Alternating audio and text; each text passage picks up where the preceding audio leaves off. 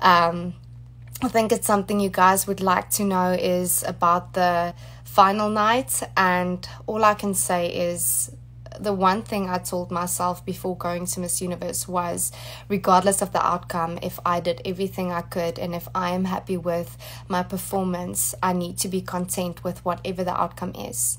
And it was hard to accept. It wasn't something I expected. Um, I'm still trying to understand, and there's obviously not a certain answer I'm going to get at this moment. Um, everything happens for a reason, and that's literally the only thing I can look at is saying there's a reason why I didn't make it to top 21. It's not something I understand currently. It's not something I expected to happen. It was it was extremely hard standing there and knowing that South Africa did so well for 3 years.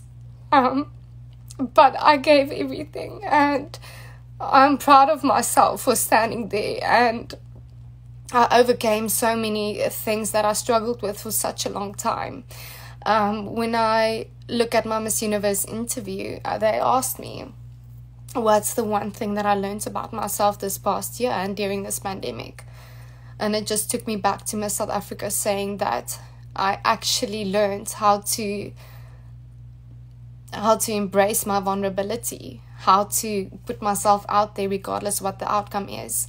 And I can't go around saying to people that when I don't fully believe it. So I have to accept that I've put myself out there and that was more than enough. And in five years' time, I will understand why and I'll understand why things didn't work out like I wanted it to. Um, yeah, it's just everything went like I wanted it to go. So I'm answering this for like five minutes. This is gonna be Okay, let me quickly just get it.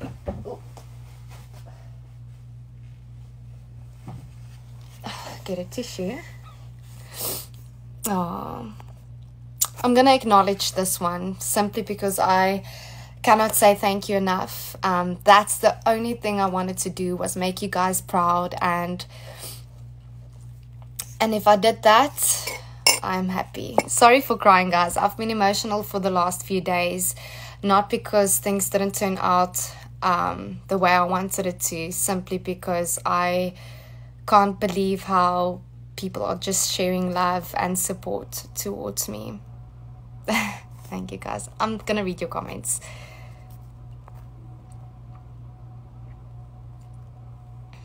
Shanae says, We miss you. I miss you guys. I really miss you guys a lot. I can't wait to get back to South Africa. one thing I actually want to share with you guys.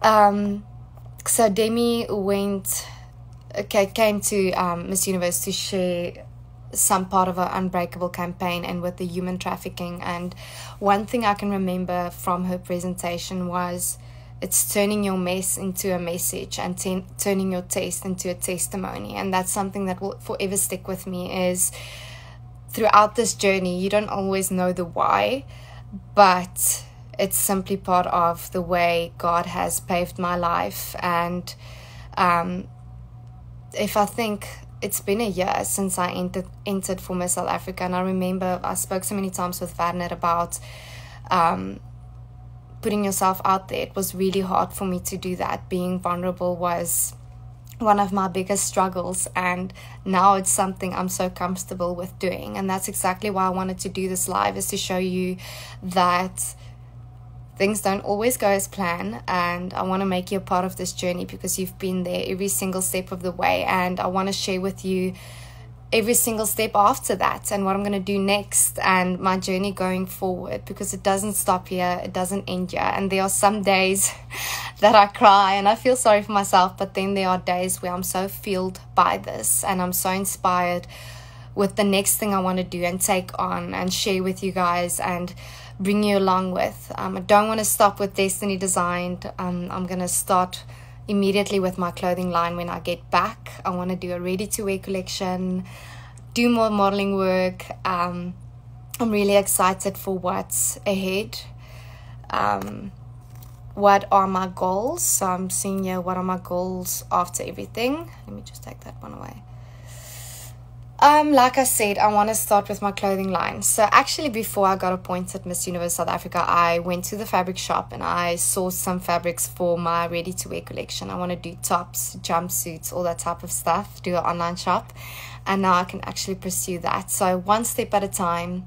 Um, I'm going to Jacksonville after Missouri, and then I'm flying back to South Africa.